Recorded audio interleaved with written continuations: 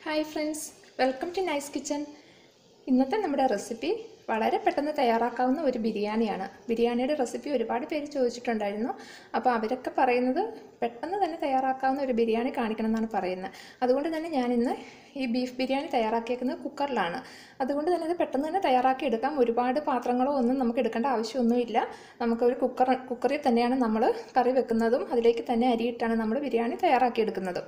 അപ്പോൾ ഇത് ഉണ്ടാക്കിയെടുക്കാൻ വളരെ എളുപ്പമാണ്. എല്ലാവരും ട്രൈ ചെയ്ത് നോക്കണം. വളരെ ടേസ്റ്റ് ആയിട്ടുള്ളൊരു ബിരിയാണിയാണിത്. അതിനു മുമ്പ് ഇതുവരെയും ചാനൽ സബ്സ്ക്രൈബ് ചെയ്തിട്ടില്ലാത്തവർ ചാനൽ സബ്സ്ക്രൈബ് ചെയ്യാൻ മറന്നു പോകരുത് ചാനൽ സബ്സ്ക്രൈബ് ചെയ്യുന്ന കൂടുതൽ അതിന്റെ തൊട്ടടുത്ത് തന്നെ ഒരു ബെല്ലൈക്കണും കൂടിയും വരും. ആ ബെല്ലൈക്കണും കൂടിയും പ്രസ് ചെയ്ത് വെച്ചാൽ മാത്രമേ ഉള്ളൂ വീഡിയോ യൂട്യൂബിലേക്ക് അപ്ലോഡ് ചെയ്യുമ്പോൾ തന്നെ നിങ്ങൾക്ക് നോട്ടിഫിക്കേഷൻ ലഭിക്കുകയുള്ളൂ. അപ്പം ബെല്ലൈക്കൺ പ്രസ് ചെയ്യുന്ന കാര്യം ആരും മറന്നു പോകരുത് അപ്പം നമുക്ക് എങ്ങനെയാണ് കുക്കർ ബിരിയാണി തയ്യാറാക്കുന്നതെന്ന് നോക്കാം. ആദ്യം തന്നെ നമുക്ക് കുറച്ച് വലിയ പീസാക്കി മുറിച്ച് നന്നായിട്ട് കഴുകി വൃത്തിയാക്കി എടുത്ത് വെച്ചിരിക്കുന്ന ബീഫിലേക്ക് നമുക്ക് അര കപ്പ് തൈര് ഒഴിച്ചൊന്ന് വെക്കാം.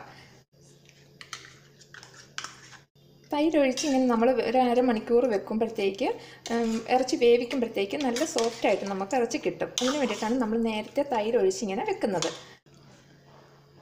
ഇത് നമുക്ക് മാറ്റി വെക്കാം. അതിനുശേഷം നമുക്ക് ബിരിയാണി തയ്യാറാക്കാനുള്ള കുക്കർ എടുത്ത് സ്റ്റൗവിലോട്ട് വെച്ച് സ്റ്റൗ ഓണാക്കാം ഇപ്പോൾ ഇവിടെ നമ്മൾ കുക്കർ അടുപ്പിൽ വെച്ച് ഒരു കാൽ കപ്പ് നെയ്യ് ഒഴിച്ച് കൊടുത്തിട്ടുണ്ട്. നെയ്യ് നന്നായിട്ട് ചൂടായിട്ടുണ്ട്. കാരണം നമ്മൾ നെയ്ക്കകത്താണ് ഉള്ളിയും ഇതെല്ലാം വഴറ്റിയെടുക്കുന്നത്. കാരണം ഇതിലോട്ട് തന്നെയാണ് നമ്മൾ ചോറിട്ട് ബിരിയാണി റെഡിയാക്കുന്നത്. അപ്പോൾ ആദ്യം തന്നെ നമുക്ക് എടുത്തു വെച്ചിരിക്കുന്ന വെളുത്തുള്ളി ഇഞ്ചി പച്ചമുളക് ഇതിലേക്ക് ഇട്ട് കൊടുത്ത് നന്നായിട്ട് വഴറ്റിയെടുക്കാം. ഇത് വൃത്തിയാക്കിയ വെളുത്തുള്ളി അൻപത് ഗ്രാം ഇരുപത്തഞ്ച് ഗ്രാം ഇഞ്ചി ഒരു പതിനഞ്ച് പച്ചമുളക്. ഇടത്തരം വലിപ്പമുള്ളത് ഇത്രയുമാണ് ചതച്ചെടുത്ത് വെച്ചിരിക്കുന്നത്. ഇത് നമുക്ക് ഈ നെയ്ക്കകത്തോട്ടിട്ട് നന്നായിട്ട് മുപ്പിച്ചെടുക്കാം.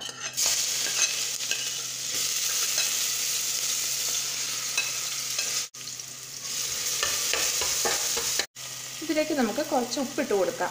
ഉപ്പിട്ട് കൊടുത്താൽ ഇത് പെട്ടെന്ന് തന്നെ നമുക്ക് മൂത്ത് കിട്ടും.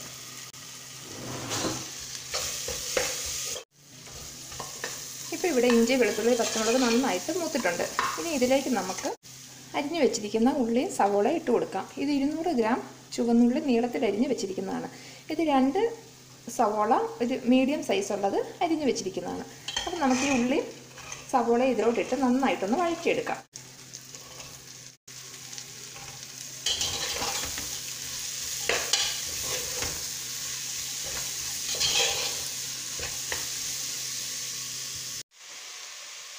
ഉള്ളി സവോളയും വഴന്ന് വരുന്ന സമയത്ത് നമുക്ക് രണ്ട് ടേബിൾ സ്പൂൺ മല്ലിപ്പൊടി ഒരു ഒരു ടേബിൾ സ്പൂൺ പിരിയമുളക് പൊടി ഒരു ടീസ്പൂൺ മഞ്ഞൾപ്പൊടി.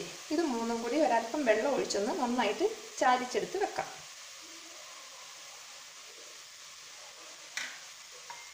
ഇങ്ങനെ നമ്മൾ വെള്ളം ഒഴിച്ചിത് മിക്സ് ചെയ്ത് വെക്കുന്നത് അല്ലെങ്കിൽ നമ്മൾ പൊടി ഡയറക്റ്റ് ആയിട്ട് അതിലേക്ക് ഇടുമ്പോൾ അത് പെട്ടെന്ന് അങ്ങ് കരിഞ്ഞു പോകും. അപ്പോൾ അങ്ങനെ വരാതിരിക്കാൻ വേണ്ടിയിട്ടാണ് നമ്മളിങ്ങനെ വെള്ളം ഒഴിച്ചതൊന്ന് ലൂസാക്കി വെക്കുന്നത്.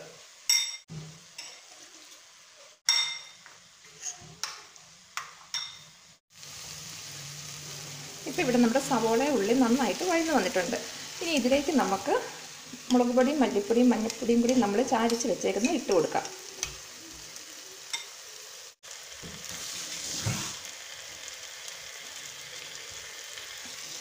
ഇനി ഇതിന്റെ പച്ചമണം മാറുന്ന വരെ നമുക്ക് നല്ലപോലെ ഒന്ന് വഴറ്റി കൊടുക്കാം.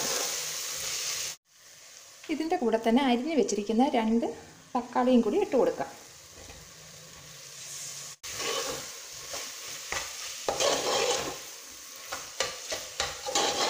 ഇതിലേക്ക് നമുക്ക് ആവശ്യത്തിനുള്ള ഗരം മസാല ഇട്ട് കൊടുക്കാം. ഇതിപ്പോൾ ഞാൻ ഒരു ഒരു ടേബിൾ സ്പൂൺ പെരിഞ്ചീരകവും ഒരു അഞ്ച് ഏലയ്ക്ക ഒരു ആറ് ഗ്രാമ്പും രണ്ട് മൂന്ന് കഷ്ണം കറുവാപ്പട്ട എല്ലാം ചേർത്ത് പൊടിച്ചെടുത്തേക്കുന്നതാണ്. അപ്പോൾ ഇത് നമുക്ക് ഇതിലേക്ക് ഇട്ട് കൊടുക്കാം.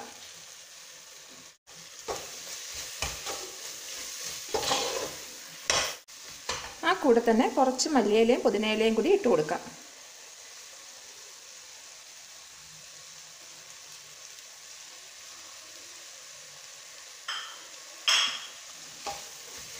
ഇത് നന്നായിട്ട് യോജിപ്പിക്കാം. അതിനുശേഷം നമുക്ക് തൈര് പരത്തി വെച്ചിരിക്കുന്ന ബീഫ് ഇതിലേക്ക് ഇട്ട് കൊടുക്കാം.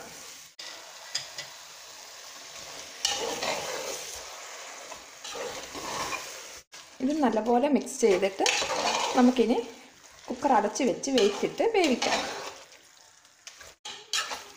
ഇപ്പോൾ ഇത് നമ്മളിവിടെ നല്ലപോലെ മിക്സ് ചെയ്തിട്ടുണ്ട്. നമുക്ക് ഈ സമയം നമുക്കിതിന്റെ ഉപ്പെല്ലാം കറക്റ്റാണെന്ന് നോക്കാം. അപ്പോൾ ഇവിടെ ഇതിന്റെ ഉപ്പെല്ലാം കറക്റ്റാണ് നമ്മൾ ഉപ്പ് ഇടുമ്പോൾ നമ്മൾ എപ്പോഴും കുറച്ച് ഉപ്പ് കൂടി നിൽക്കണം കാരണം ഇതിലേക്ക് തന്നെയാണ് നമ്മളിനി അരിയിട്ട് വേവിക്കുന്നത്. അപ്പോൾ ആ അരിയും കൂടിയും വേകുമ്പം ഉണ്ടാകേണ്ട ഉപ്പും കൂടിയും നമ്മളിപ്പോൾ തന്നെ ഈ സമയത്തിട്ട് വേണം വെക്കാനായിട്ട്. നമ്മൾ ഇതിലേക്ക് ഇനി വെള്ളം ഒന്നും ഒഴിക്കണ്ട. ഈ ഇറച്ചിയുടെ വെള്ളം ഇറങ്ങി വന്നോളും. അന്നേരം നമുക്കിനി ഇത് അതിന് ഇതിന് വേവാനുള്ള വെള്ളമൊക്കെ ഇതിൽ നിന്ന് തന്നെ കിട്ടിക്കോളും. ഇപ്പോൾ ഇതിവിടെ തിളച്ച് തുടങ്ങിയിട്ടുണ്ട്. ഇനി നമുക്ക് കുക്കർ അടച്ച് വെയിറ്റ് ഇടാം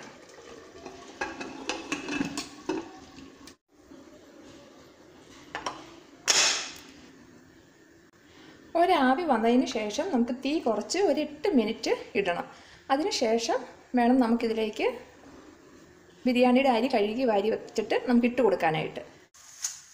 ഇപ്പോൾ ഇവിടെ നമ്മുടെ ഒരാവി വരാനുള്ള സമയമായി വരുന്നുണ്ട്.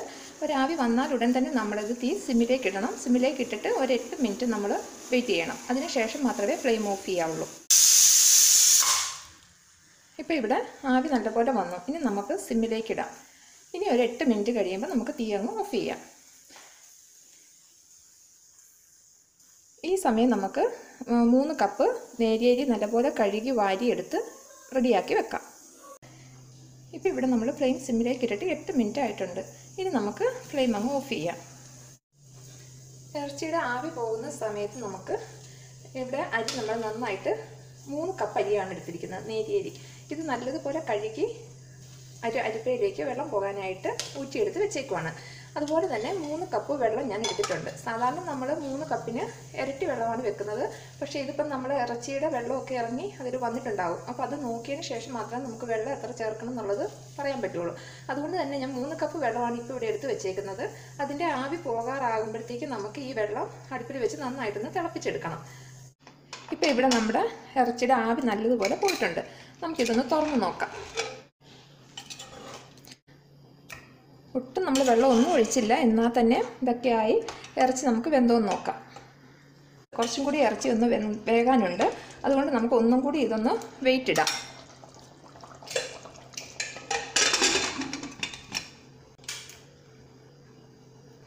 ഒരാവി വന്നിട്ട് നമുക്ക് ഓഫ് ചെയ്യാം. കാരണം ഇപ്പം നമ്മൾ ഇറച്ചി വെന്തില്ലെങ്കിൽ നമ്മൾ ചോറിട്ട് ആക്കുമ്പോഴും അതങ്ങ് വേവാതെ തന്നെ ഇരിക്കും. ചോറിട്ട് ഒരുപാട് വേവില്ല. നേരിയരി ആയതുകൊണ്ട് പെട്ടെന്ന് തന്നെ വേകും. അതുകൊണ്ട് നമുക്ക് ഒരാവി നല്ലതുപോലെ വരുമ്പം ഓഫ് ചെയ്തിടാം. അതിന് ശേഷം ആവി പോയിട്ട് നമുക്ക് ചോറിട്ട് റെഡിയാക്കി എടുക്കാം.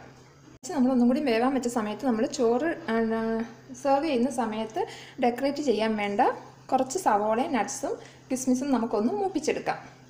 അതിന് വേണ്ടിയിട്ട് ഒരു പാൻ വെച്ച് അതിൽ കുറച്ച് വെളിച്ചെണ്ണ ഒഴിച്ചു കൊടുത്തിട്ടുണ്ട്. ഇത് നന്നായിട്ടൊന്ന് ചൂടാകുമ്പോൾ നമുക്ക് ഇതിട്ട് മൂപ്പിച്ചെടുക്കാം. ഇപ്പോൾ ഇവിടെ എണ്ണ നന്നായിട്ട് ചൂടായിട്ടുണ്ട്. നമുക്ക് ആദ്യം തന്നെ നട്ട്സ് ഇട്ട് കൊടുക്കാം. നട്ട്സ് ഒന്ന് നന്നായിട്ട് മൂത്ത് ഒരു ഗോൾഡൻ കളർ ആകുമ്പോൾ നമുക്ക് കിസ്മിസും കൂടി ഇട്ട് കൊടുത്ത് അത് കോരിയെടുക്കാം. അതിനുശേഷം നമുക്ക് അരിഞ്ഞു വെച്ചിരിക്കുന്ന സവോളയും ഗോൾഡൻ ബ്രൗൺ കളറിൽ മൂപ്പിച്ചെടുക്കാം.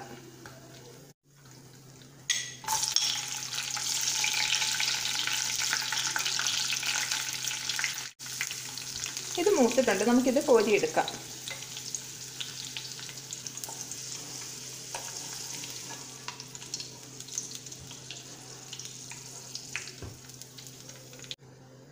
ഇനി നമുക്ക് അരിഞ്ഞു വെച്ചിരിക്കുന്ന സവോള ഇട്ട് കൊടുക്കാം.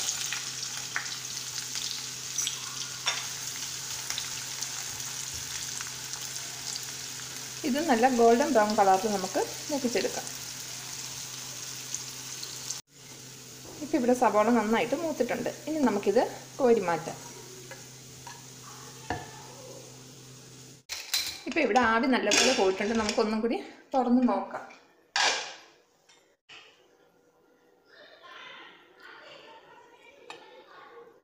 ഇപ്പം ഇവിടെ ഇറച്ചി നല്ലപോലെ വെന്തിട്ടുണ്ട്.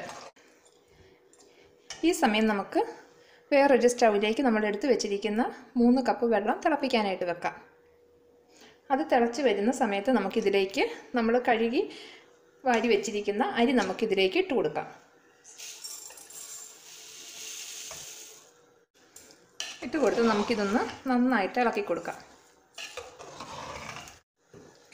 ഇപ്പം നമ്മൾ അരി ഇട്ട് നന്നായിട്ട് ഇളക്കി കൊടുത്തിട്ടുണ്ട്. ഇനി നമുക്ക് സ്റ്റൗ ഒന്ന് ഓണാക്കാം ഇപ്പം നമ്മൾ തിളപ്പിക്കാൻ വെച്ചിരിക്കുന്ന മൂന്ന് കപ്പ് വെള്ളം നന്നായിട്ട് തിളച്ചിട്ടുണ്ട്. ഈ തിളച്ച വെള്ളം നമുക്ക് ഇതിലേക്ക് ഒഴിച്ചു കൊടുക്കാം. അത് മുഴുവനായിട്ട് ഒഴിക്കണ്ട. നമ്മൾ ഒരു കപ്പ് വെള്ളം ഒന്ന് മിച്ചം വെച്ചിട്ട് നമുക്ക് രണ്ട് കപ്പ് വെള്ളം ഇതിലേക്ക് ഒഴിച്ചു കൊടുക്കാം. അതിനുശേഷം നമുക്കിതൊന്ന് ഇളക്കി നോക്കാം. വെള്ളം പോരാന്നുണ്ടെങ്കിൽ നമുക്ക് വീണ്ടും ഒഴിച്ചു കൊടുക്കാം. നമുക്ക് ബാക്കി ആ വെള്ളവും കൂടി ഒഴിച്ചു കൊടുക്കാം. ഇപ്പം നമ്മൾ ആ എടുത്ത് വെച്ച മൂന്ന് കപ്പ് വെള്ളവും നമ്മൾ ഇതിലേക്ക് ഒഴിച്ചിട്ടുണ്ട്. ഇതിലേക്ക് നമുക്ക് ഒരു ചെറുനാരങ്ങയുടെ നീര് ഒഴിച്ചു കൊടുക്കാം. ഇതിലേക്ക് നമുക്ക് ഒരു രണ്ട് ടേബിൾ സ്പൂൺ നെയ്യും കൂടി ഇട്ട് കൊടുക്കാം. ഈ സമയം നമുക്കിതിന്റെ ഉപ്പെല്ലാം ഒന്ന് നോക്കാം. ഉപ്പ് കുറവുണ്ടെങ്കിൽ നമുക്ക് ഈ സമയം ഉപ്പ് ആവശ്യത്തിനുള്ളത് ഇട്ട് കൊടുക്കണം. കുറച്ചുപ്പും കൂടി ഞാൻ ഇട്ട് കൊടുക്കുവാണ്. ഒരു കുറച്ചുപ്പിന്റെ കുറവുണ്ട്. ഇപ്പോൾ ഇവിടെ ഇത് നല്ലതുപോലെ തിളച്ച് തുടങ്ങിയിട്ടുണ്ട്. ഇനി നമുക്കിത് അടച്ച് വെയിറ്റ് ഇടാം ഇതിപ്പം ഹൈ ഫ്ലെയിമിൽ തന്നെയാണ് ഇരിക്കുന്നത്. നന്നായിട്ട് ഒരു ആവി വരുമ്പോൾ നമുക്കിത് ഓഫ് ചെയ്യാം.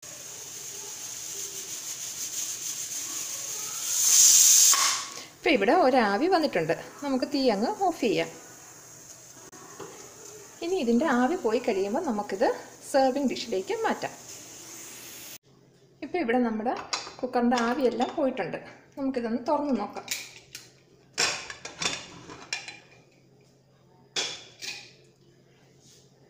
ബിരിയാണി നല്ല കറക്റ്റായിട്ട് വെന്ത് ഇരിപ്പുണ്ട്. ഇത് കണ്ടോ? വെള്ളമെല്ലാം നല്ല കറക്റ്റായിട്ട് പറ്റി നന്നായിട്ട് തന്നെ ഇരിപ്പുണ്ട്. ഇനി നമുക്കിതൊരു സെർവ് ചെയ്യാനുള്ള പ്ലേറ്റിലേക്ക് മാറ്റി കൊടുക്കാം.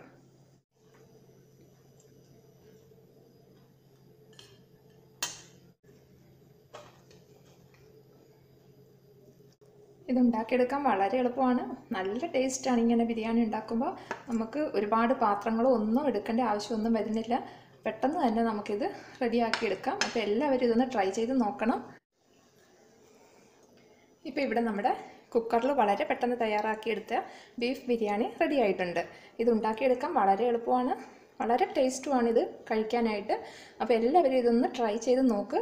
നോക്കിയിട്ട് എങ്ങനെയുണ്ട് കൊള്ളാമോ എന്നുള്ളത് നിങ്ങൾ അഭിപ്രായം പറയുക. അപ്പോൾ ഈ വീഡിയോ നിങ്ങൾക്ക് എല്ലാവർക്കും ഇഷ്ടമായെങ്കിൽ നിങ്ങൾ ഷെയർ ചെയ്യാനും ലൈക്ക് ചെയ്യാനും മറക്കരുത്. ഇതുവരെയും ചാനൽ സബ്സ്ക്രൈബ് ചെയ്യാത്തവർ സബ്സ്ക്രൈബ് ചെയ്യുന്ന കാര്യവും മറക്കരുത്.